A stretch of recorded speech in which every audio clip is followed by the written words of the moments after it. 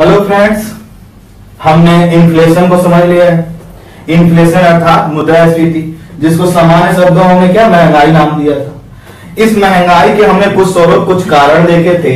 इन कारणों में एक कारण पता था डिमांड का बढ़ जाना हमने ये देखा था डिमांड कैसे बढ़ती है, उसमें एक शब्द आया था, सस्ती मौद्रिक नीति। अर्थात लोगों के पास जब जैसे ही धन पहुँचता है तो वो क्या करते हैं? डिमांड ज़्यादा करते हैं और इस डिमांड ज़्यादा करने की वजह से क्या होता है? इन्फ्लेशन की कंडीशन होती। बाकी दो इन्फ्लेशन की कंडीशन और हमने देखे थे। कौन से थे? कॉस्ट पुश इन्फ्लेशन और स्ट्रक्चरल इन्फ्लेशन यह जो इन्फ्लेशन है, स्वाभाविक है आरबीआई के क्षेत्र से बाहर जा रहे थे। लेकिन हमारे यहाँ जो मौद्रिक नीति इस रूप में बनाई जाती है कि जिसके द्वारा आरबीआई के द्वारा क्या किया जाता है? इन्फ्लेशन को कंट्रोल करने का प्रयास प्रश्न यह है कि आरबीआई कैसे आखिर इन्फ्लेशन को रोक सकती है, कैसे अपनी भूमिका दिखा सकती है कि इन्फ्लेशन और ना बढ़े कैसे उसको संभाले? इसी का उत्तर होता है प्रत्येक देश के केंद्रीय बैंक की उसकी मॉनेटरी पॉलिसी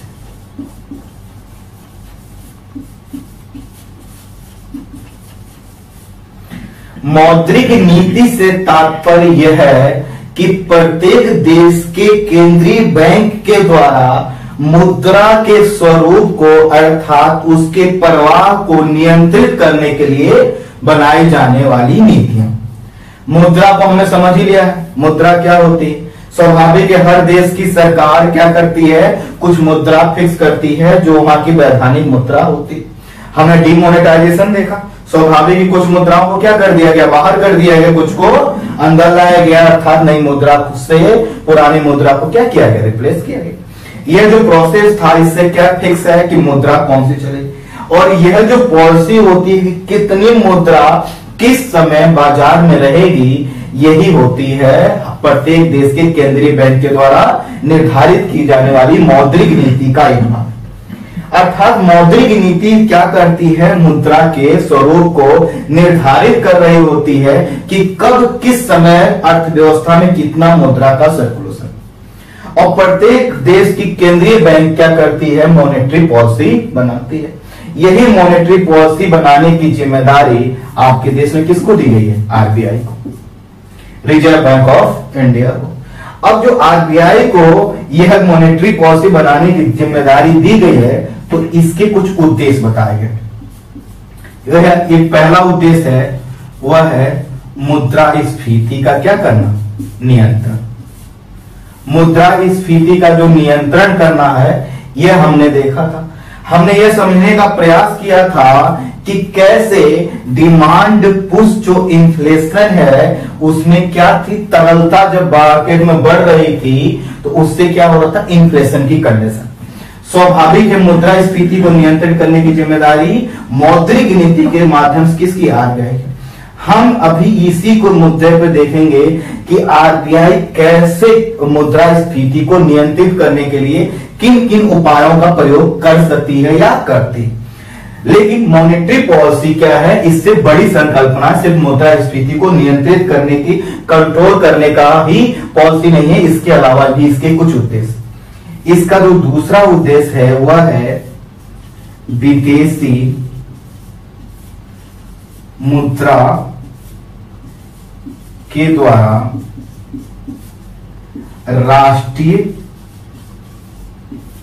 मुद्रा के विनिमय दर में क्या रखना? विनिमय दर में स्थिरता रखना। अर्थात दो देश अपने देश की मुद्रा का विदेश की मुद्रा से एक्सचेंज रेट में बहुत ज़्यादा अंतर ना आए। इसकी भी ज़िम्मेदारी किसकी है? आरबीआई। जैसे सामान्य शब्दों में मैं कहूँ तो आपके यहाँ की जो करेंसी है, रुपया, अगर डॉलर के तुलनात्मक रूप से दोनों को एक्सचेंज करने के रेट में बहुत ज़्यादा फ्लैक्चुएशन होगा तो कंडीशन क्या होगी? सही नहीं होगी। अर्थात जितना ही वह दोनों स्थिर रहेंगे, किसी भी देश की अर्थव्यवस्था के लिए क्या होगा उतना ही अच्छा। तो मुद्रा आपकी मॉनेटरी पॉलिसी का एक पहला लक्ष्य हो गया जिसको मैं एक से डिनोट कर रहा हूँ मुद्रा स्फीति को। दूसरा हो रहा विदेशी मुद्रा के द्वारा, राष्ट्रीय मुद्रा के विनिमय दर में क्या रखना स्थिरता इसको मैं बी से डिनोट कर रहा हूँ और सी मैं यहाँ पर लिख दे रहा हूँ। वह है किसी भी अपने देश की समृद्धि दर को क्या करना? बनाए रखना। समृद्धि दर को बनाए रखने से तात्पर्य है अर्थव्यवस्था में जितनी मुद्रा चाहिए, उतनी मुद्रा कम से कम कहा बनाए रखना जिससे ऐसी कंडीशन ना हो कि हमारे पास प्रोडक्शन के लिए क्या हो, पैसा ही ना हो। अर्थात समृद्धि को बनाए रखने की भी ज़िम्मेदारी एक मौद्रिक नीति के माध्यम से किसके पास आरबीआई अब हम एक एक मुद्दे को देखते हैं कि आखिर इस मौद्रिक नीति के माध्यम से कैसे कैसे आरबीआई इन कामों को करते हम बिल्कुल इस पे बात नहीं कर रहे हैं कि वाणिज्यिक वन कौन से हैं, अनुसूचित बैंक कौन से हैं आरबीआई कौन से है। कैसे जो है किनको लाइसेंस मिलता है, वो अलग हम बात कर लेंगे। अभी हम बात कर रहे हैं मॉनेटरी पॉलिसी के उद्देश्य और उन उद्देश्यों में हमने एक जो चैप्टर अपना कंप्लीट किया था, मुद्रा स्फीति, इन दोनों में क्या कोरिलेशन है, इसको हम समझने का प्रयास करते हैं। उसके बाद हम देखेंगे विदेशी मुद्रा के द्वारा, राष्ट्रीय मुद्रा का जो एक्सचेंज रेट है, इसको कैसे आरबीआई रेगुलेट करके स्थिर रखने का प्रयास करती है और कैसे आरबीआई समृद्धि में अपनी क्या भूमिका निभाती है। तो सबसे पहले थोड़ा सा हम यह देखें कि आरबीआई आखिर मुद्रा स्फीति पर नियंत्रित करने के लिए वह किन किन माध्यमों का प्रयोग कर सकती है या, या कर, आ, कर सकती है या फिर करती है। सबसे पहले उससे पहले हम ये जाने कि कैसे करते उससे पहले हमको कुछ टर्मोलॉजी जाननी होगी स्वाभाविक है। हमको यह जानना होगा बैंक काम कैसे करते हैं। क्योंकि आरबीआई खुद तो कुछ करेगी नहीं। आरबीआई का, खुद का तो कोई बैंक अपना है नहीं, वो क्या करती है? बैंकों का बैंक है बैंकों से लेन देन करती है, डायरेक्ट क्या करती है? आपको तो लोन रेट देती ही नहीं। तो बैंक जुड़े हुए हैं आरबीआई से। तो अब थोड़ा सा हमको देखना है कि बैंक काम कैसे करते हैं। और ये जो बैंक काम कर रहे हैं, ये किसके अंडर में कर रहे हैं? ये आरबीआई के रेगुलेशन के अंडर में कर रहे अब बैंक जो काम करते हैं, उनकी कार्य प्रणाली क्या होती है? थोड़ा सा समझ लीजिए, और फिर उसके बाद हम अपने उसी टॉपिक पर जैसे जो बैंक होता है, वह क्या करता है? अपना जो भी बिज़नेस करता है, अर्थात जो भी लेन देन करता है, वह किससे करता है? हमारी जमा राशि के तो अर्थात, जो भी हम पैसा लेके बैंक में जाते हैं, जमा करते हैं, इसी जमा राशि से बैंक क्या करते हैं? कुछ पैसा वह निकाल कर अपना व्यापार। कैसे करता है? एक मिनट में ही समझ आए ये जो जमा राशि हम करते हैं, हमारे पास क्या दिक्कत होता है? एक होता है हमारे पास टाइम डिपॉजिट जिसको आप क्या बोलते हैं? जिसको आप बोलते हैं फिक्स डिपॉजिट भी दूसरा होता है डिमांड डिपॉजिट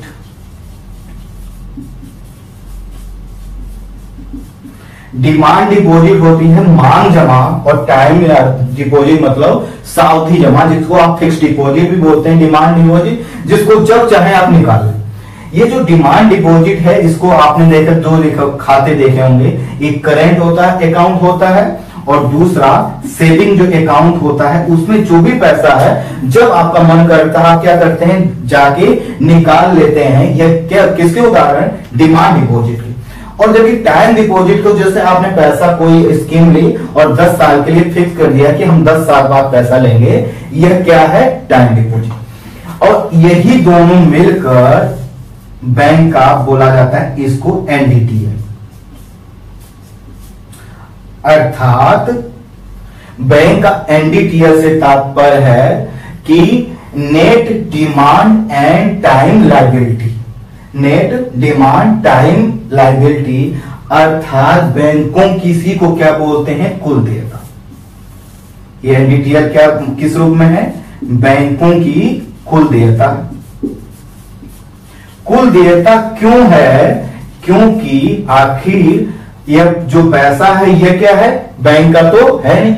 हमने जो पैसा दिया किसी रूप में, चाहे डिमांड डिपॉजिट के में दिया हो या टाइम डिपॉजिट के रूप में, यह क्या है? बैंक के ऊपर देयता है। देयता से तात्पर्य लाइबिलिटी से तात्पर्य यह है कि बैंक को क्या करना है? इसको वापस करना। और यह जो पैसा हमने दिया अब इसमें से बैंक देखिए करता क्या? मान लीजिए सौ रुपए दस दस लोगों ने जमा किए तो कितना जमा हो गया? एक हज़ार रुपए जमा हो गया। अब ये जब दस लोग क्या कर रहे हैं, सौ सौ रुपए जमा कर रहे हैं तो बैंक एक रेशियो देखते हैं। रेशियो से तात्पर्य देखते हैं कि लेन देन का स्तर क्या है। उसमें से वह क्या करते हैं? मान लीजिए उन्होंने कहा कि पाँच सौ रुपए वह अपने पास रख लेते हैं। कि हमारे पास ऐसी कंडीशन हो कि एक पैक जो दस लोग जमा किए स्वाभाविक एक ही दिन तो मांगने आने ही जाएँगे। यह क्या कभी कभी आएँगे, इन्होंने जमा कर दिया है। तो बैंक क्या करते हैं, इतना अपने पास रिज़र्व रखते हैं कि किसी को वापस लौट के ना जाना पड़े। मान लीजिए उन्होंने पाँच सौ रुपए क्या किया, अपने पास रख लिया। अब जो पाँच सौ रुपए बचा है, वो क्या करेंगे? वो ऋण के रूप में लोन के रूप में क्या करेंगे? आपको उधार देंगे।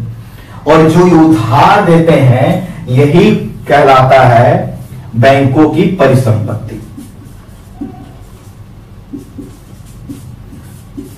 अर्थात परिसंपत्ति क्या है?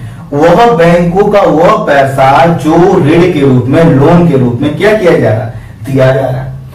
अब आपको यह समझिए कि आपने जो पैसा दिया, उसी पैसे से क्या कर रहा है? बैंक बिज़नेस कर रहा है। बिज़नेस किस रूप में कर रहा है? कि वह आपका डिमांड डिपॉजिट और टाइम डिपॉजिट जो दोनों मिलकर क्या बन रहा था? नेट डिमांड टाइम लाइबिलिटी अर्थात बैंकों की क्या है? कुल देयता जो बन रही थी, उस देयता में से कुछ भाग वो क्या करता अपने पास? रखता है आपको सुविधा देने के लिए। आपको अगर कभी पैसे की ज़रूरत देने के लिए बाकी क्या करता है? वह ऋण के रूप में ले देता है और ऋण के रूप में जो भी पैसा देता है, वह क्या होती? है बैंकों की परिसंपत्ति क्या यह तो हो गया कि बैंक कैसे काम अब क्या है कि बैंकों पर क्या करना है? आरबीआई का नियंत्रण। आरबीआई समय समय पर क्या करेगा? बैंकों को निर्देश देगा। और निर्देश इसलिए देगा कि आरबीआई क्या डिसाइड कर रहा है कि मुद्रा कितना मार्केट में रहना चाहिए। और स्वाभाविक है, जब यह डिसाइड कर रहा है तो बैंकों को क्या करना होगा? मानना होगा कि कब किस रेट पर वह ऋण दे लोन दे जैसे अगर आरबीआई यह कह दे कि ऋण सस्ते दर पर दीजिए। पहले मान लीजिए मुझे सौ रुपए चाहिए थे, उधार, और सौ रुपए मुझे लेने के लिए दस परसेंट टैक्स देना पड़ा। अब आरबीआई कह दे कि नहीं, दस परसेंट टैक्स नहीं लेना है, अब पाँच ही परसेंट टैक्स क्या करना है बैंक मुझसे लेगा तो मुझे क्या होगा, पाँच रुपए का प्रॉफिट होगा। ये एग्ज़ाम्पल है जस्ट अगर मान लीजिए ऐसे ही वो क्या करे, सभी बैंकों से कह दे कि आप ऋण सस्ते पर दर कर दीजिए। तो क्या करेंगे? बैंक ज़्यादा पैसा देने लगेंगे। और जैसे ही ज़्यादा पैसा देंगे, फिर क्या होगा? मार्केट में पैसा बढ़ जाएगा। मार्केट में पैसे का बढ़ना या कम होना एक शब्द से डिनोट किया जाता है, उसको बोलते हैं तरलता। अर्थात मार्केट में तरलता ज़्यादा होने से तात्पर्य है, मार्केट में पैसा, रुपया क्या होना? ज़्यादा। और तरलता कम होने से तात्पर्य है, मार्केट में पैसा क्या होना? कम होना। अब देखिए कि आरबीआई बैंकों पर कैसे अपना नियंत्रण रखकर मुद्रा स्फीति को कंट्रोल करने का प्रयास करता है।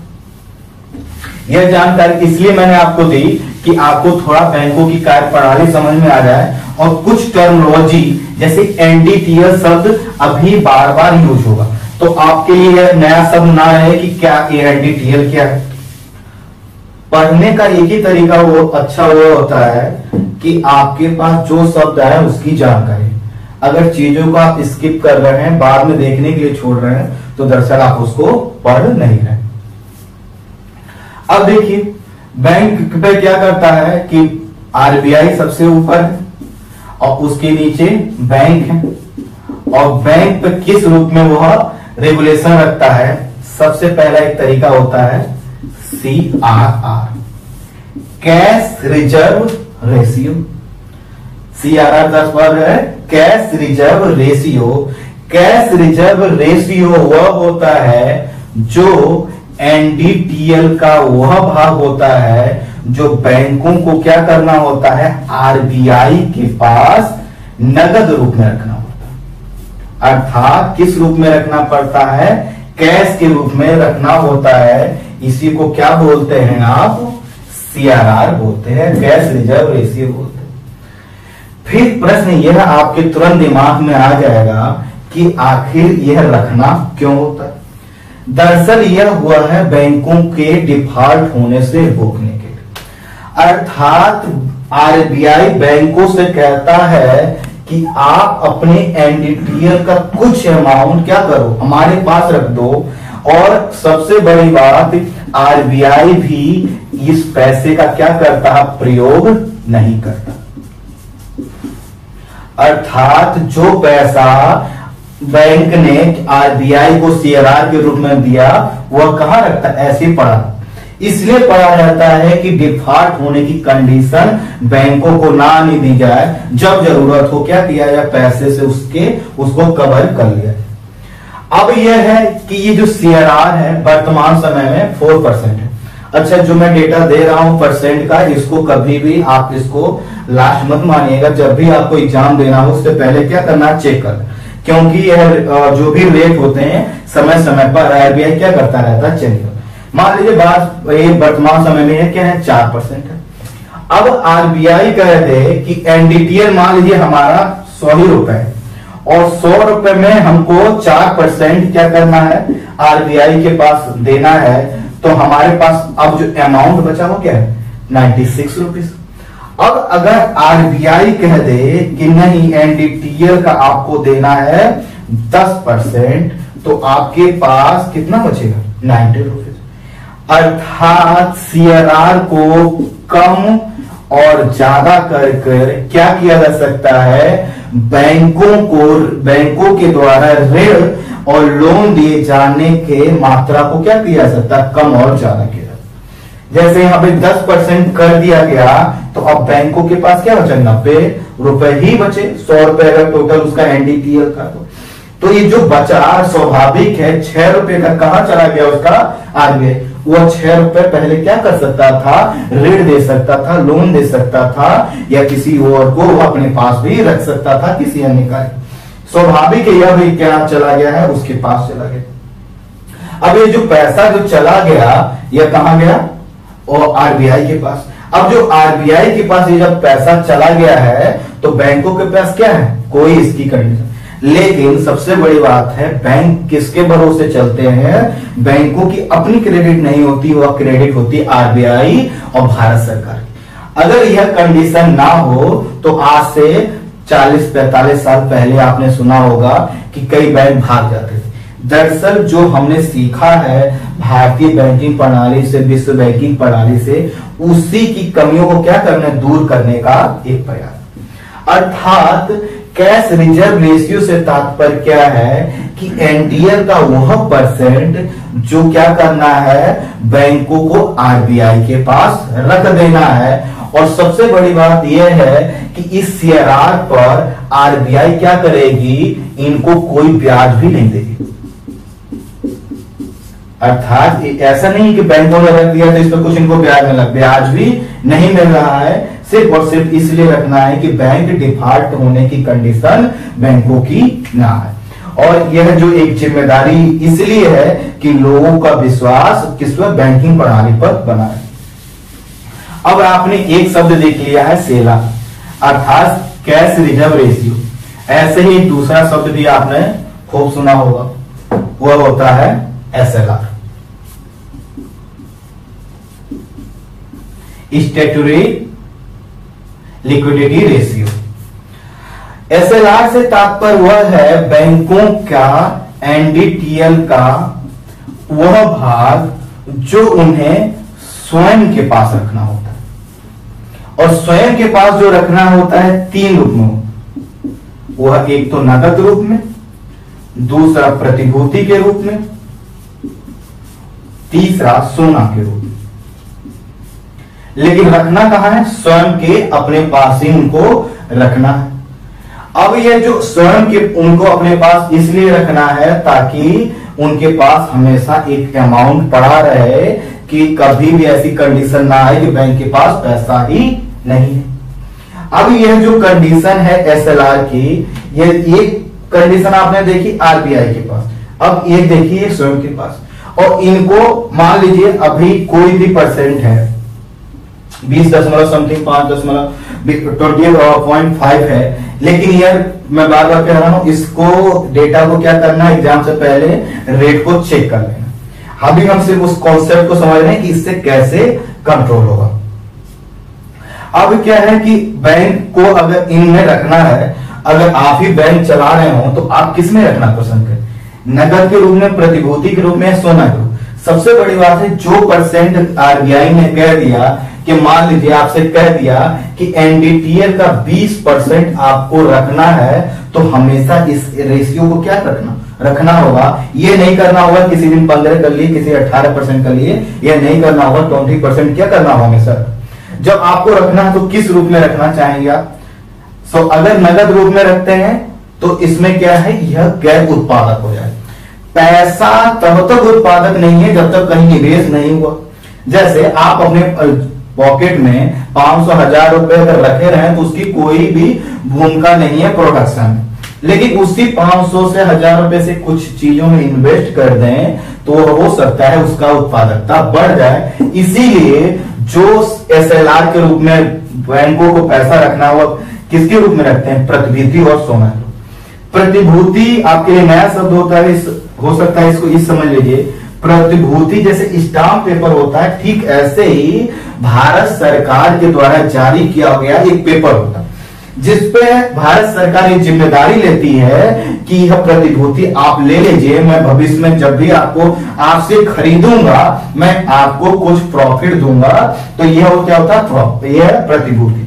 और सोना से आप अच्छी तरह से परिचित हैं, इस पे तो बात करने की ज़रूरत भी नहीं है, आप मुझसे ज़्यादा जानते हैं। स्वाभाविक प्रतिभूति या सोना के रूप में क्या किया गया है? अगर पैसा रखा गया है तो यह जो इनकी कीमत क्या होगी? बढ़ेगी। प्रतिभूति जितने लंबे समय के बाद आप क्या करेंगे, देंगे, उस पर क्या करेगा? ब्याज उसको उतना ही ज़्यादा मिले और सोना, स्वाभाविक है, सोने को आप अभी खरीद के रख लीजिए। साल, दो साल बाद क्या होगी? उसकी कीमत बढ़ जाएगी। इसीलिए बैंक क्या करते हैं? एस के रूप में रखते हैं। अब थोड़ा सा ये देखिए कि अगर क्या करें, बैंक ने जैसे क्या किया था सीआरआर को कम और ज़्यादा करके क्या किया था? निर्धारित किया था, तरलता को कम और ज़्यादा। तरलता मैं बता चुका हूँ, तरलता से तात्पर्य क्या है? अर्थव्यवस्था में कितनी मुद्रा की मात्रा हुई तरलता। सेम प्रोसेस वो क्या कर सकता है? एसएलआर में ही कर सकता है। अगर वह मान लीजिए अभी बीस परसेंट तो वह कह दे कि नहीं, अब क्या करना है? चालीस परसेंट आपको पैसा अपने पास रखना है और पहले से राज के रूप में कुछ पैसा रखवा ही लिया है उसने तो क्या होगा? बैंक अब कम पैसे ऋण पर दे पाएँगे और कम पैसे ऋण पर दे पाएँगे तो क्या होगा? यही कंडीशन क्या होगी? तरलता में कम और ज़्यादा होगी। अर्थात यह जो कंडीशन एस की है, यह क्या है? तब है कि जब वह कम और ज़्यादा, जैसे इसको कम और ज़्यादा करेगी, वो क्या कंडीशन हो जाएगी? उसी रूप में तरलता में कमी और ज़्यादा हो जाएगी और इस तरह दो माध्यम आपने देखे और इन दोनों माध्यमों से आरबीआई क्या कर सकती है? तरलता को कंट्रोल कर सकती है। फिर एक शब्द आता है, वह शब्द होता है आपका रेपो रेट इसको आरआरबी आपने सुना हो रेपो रेट वह रेट होता है जिस रेट पर क्या करते हैं? बैंक आरबीआई से अल्पकालिक समय के लिए। अल्पकालिक समय के लिए क्या करते हैं? ऋण लेते हैं। जैसे मान लीजिए बैंक है, बैंक चल रहा है, उसने कुछ पैसा रखा हुआ था कि वह जब भी कोई उसके पास आएगा, वह देगा, ऋण देगा। मान लीजिए बैंक को अब ज़रूरत पड़ी। बैंक को ज़रूरत हमेशा पड़ती ही रहती है, जैसे आपको पड़ती रहती है कि आपके पास कितना भी पैसा हो, लेकिन आप क्या करते हैं प्रोडक्शन कर रहे हैं इन्वेस्ट कर रहे हैं तो क्या आपको पैसे की ज़रूरत पड़ती ही रहती है? जब पैसे की ज़रूरत पड़ती रहती है तो स्वाभाविक यही कंडीशन किसको होती है? बैंकों को भी होती है। तो बैंक क्या करते हैं? आरबीआई से पैसा लेते जो पैसा लेते हैं अगर वो अल्पकालिक समय के लिए है, अर्थात एक दिन से लेकर चौदह दिन के लिए है तो क्या है? रेपो रेट के माध्यम से लेते अर्थात रेपो रेट वह रेट है जिस दर पर आरबीआई से बैंक अल्पकालीन समय के लिए क्या लेते हैं? ऋण लेते हैं। अब ये जो ऋण ले रहे हैं, स्वाभाविक इनको आरबीआई को क्या करना होगा? ब्याज देना होगा बैंकों को। अर्थात बैंक जो भी पैसा लेंगे, उस पर क्या करना होगा? ब्याज देना। मान लीजिए, अगर इस समय 6.25 है, मैं कह रहा है। मैंने कहा मान लीजिए। अगर 6.25 परसेंट क्या है? और ये कंडीशन में क्या कर रहे हैं? अगर आप सौ रुपए ले रहे हैं तो आपको क्या करना होगा कि आपको यह इसी रेट में क्या करना होगा? आपको इतना ब्याज देना। बैंक अब यह कह दे कि नहीं, अब यह 6.25 नहीं होगा 10 परसेंट होगा।